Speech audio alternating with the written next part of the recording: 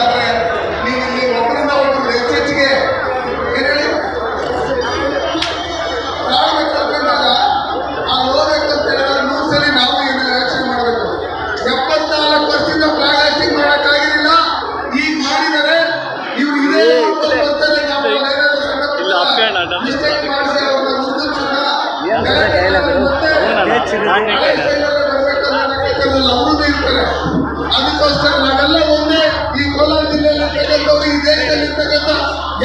ಜಾತಿ ಜನಾಂಗ ಒಟ್ಟಿಗೆ ಸೇರಿ ಮಾಡ್ತಾ ವರ್ಷದಿಂದ ಮುಂದೆ ಕಾರ್ಯಕ್ರಮಗಳನ್ನು ಹೋಗೋಣ